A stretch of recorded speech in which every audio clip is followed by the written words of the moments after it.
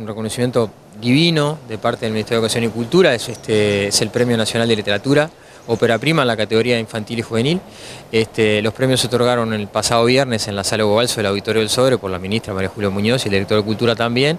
Y sin lugar a dudas que, que sí, es un reconocimiento muy lindo después de haber escrito esta historia hace más de dos años y que no es un reconocimiento eh, particular. Acá tengo que nombrar a Mauricio Marra, que es el ilustrador de esas imágenes increíbles que hizo, y todo un equipo de trabajo este, que estuvo inmerso en esta idea, que, que, por ejemplo, bueno, el coro de niños de San José, que reflotó la canción, hay una cantidad de gente, este, entonces es importante eh, que si bien es un premio de, a quien ideó la historia, también es, es, todo lo demás, todo lo que vino con ella, ¿no? Y los dibujos de Mauricio son increíbles, o sea que realmente estoy muy contento como para terminar el año muy feliz.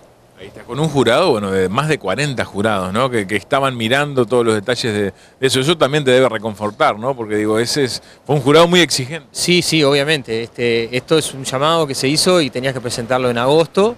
Y después, bueno, actuaron una cantidad inmensa de jurados en diferentes áreas. Y bueno, este, terminó con, con, este premio realmente muy bueno.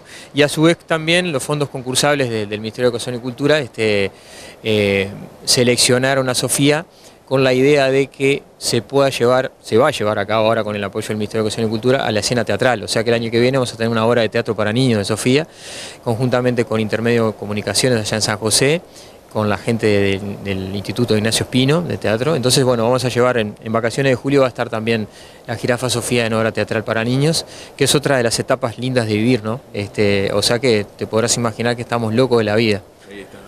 Cuando, recuerdo cuando hablábamos, ¿no? Que, que, habías recién escrito el cuento y demás, y, y decías que era algo nuevo, ¿no? Y, ah, sí. y mirá todas las cosas que te dio, ¿no? Sí, claro, esto fue hace más de dos años, ¿te acordás, sí. Fernando? Entonces, eh, a veces, viste, eh, eh, el tiempo lo dice todo, ¿no? Hay que esperar, esperar tranquilos.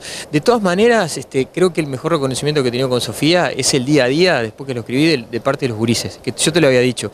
Hasta el día de hoy, yo, o sea, vía WhatsApp, que ahora es, un medio increíble, imágenes de, todo el país, de la jirafa, este, de la canción, en los actos fines de, fin de año de las escuelas de diferentes puntos del país. O sea, está bárbaro. Eso, llegarle a un niño y que eso justamente se, te lo haga llegar a vos es algo majestuoso, divino. Es tocar el cielo con las manos.